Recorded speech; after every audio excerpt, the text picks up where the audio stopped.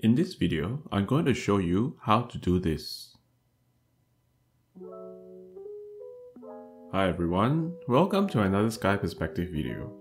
I won't keep you in suspense. I'll first show you how to set this one up. Then I'll go through some examples of how I use this copy and paste feature to speed up my productivity. For those of you who don't have a Galaxy phone or tablet, no worries, I'll show you another way to do this at the end of this video. Okay, let's get started. This is my Galaxy Note 10 and my Galaxy Tab S6. To set up this new Galaxy copy and paste feature, we have to go to the advanced features settings and look for this continue apps on other device settings and turn it on. Now do this for both the devices. With these settings, we can continue where we left off when we switch to another Galaxy device. This is especially useful when surfing the internet, which I'll show you a little later. Our clipboard for copy and pasting will also be shared and synchronized across two devices. Oh, and both of these devices need to be signed in to the same Samsung account in order for this to work.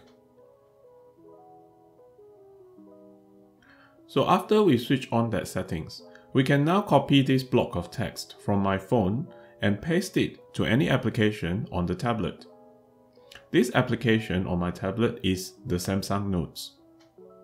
Notice the copied text is already on the tablet's clipboard.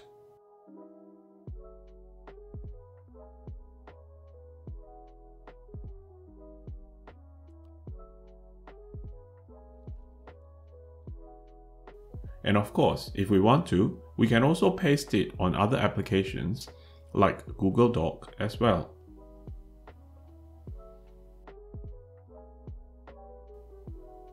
We can also copy and paste the other way around from the tablet to the phone.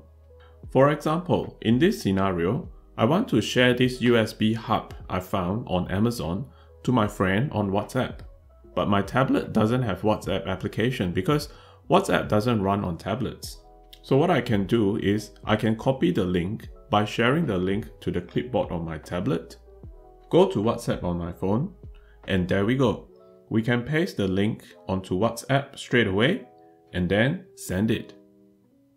Easy. So what's happening here is that when we copy a text from one device, that text is synchronized via our Samsung account to all our Galaxy devices to allow us to paste on any one of the device. And that synchronization happens quite fast.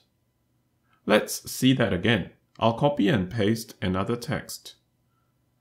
Look at how fast it pops out on my tablet clipboard.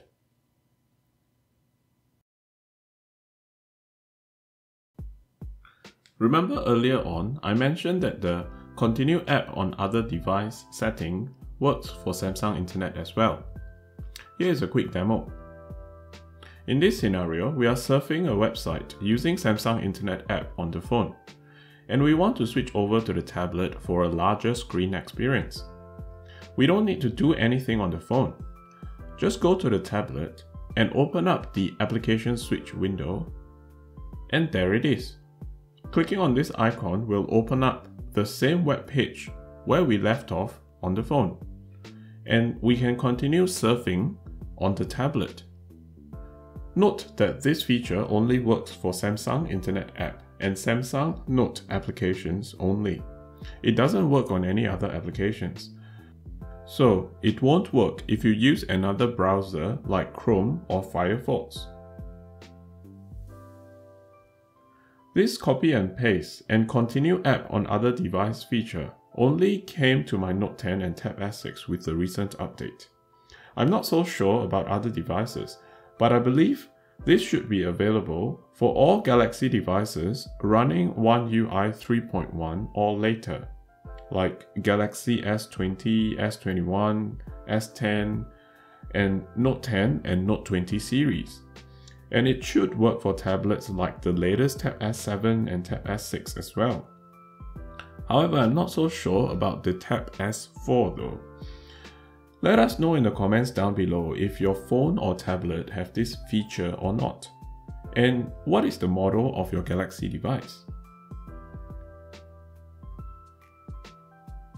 Now, for those of you who don't have this Galaxy feature, like if you use a different brand phone or tablet, I recommend using Google Keep to copy and paste because Google Keep's synchronization across devices is the fastest.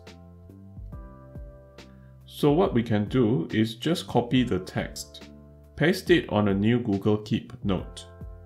Go to the other device and find that note to copy and paste to wherever you want. We may need to refresh the Keep application to sync the note down to the tablet. And here it is, for us to copy and paste on the tablet. After that, delete that note. Or leave it if you intend to keep it for a while. That's what Google Keep is for anyway, to keep transient information like this. If you haven't used Google Keep, I highly recommend it. You can download it for free from the Play Store. Hey everyone, if you have followed my channel long enough, you would know that I like to give you the main content early while leaving my channel promotion at the end of the video. On my channel, I share stories of the tech gear I bought for myself and how I use technology to be more productive. If you like tips and tech gear videos like this, remember to subscribe and like this video. Your small gesture liking this video can actually help my channel a lot. Thanks for supporting the work I'm doing. Okay, that's it for this video.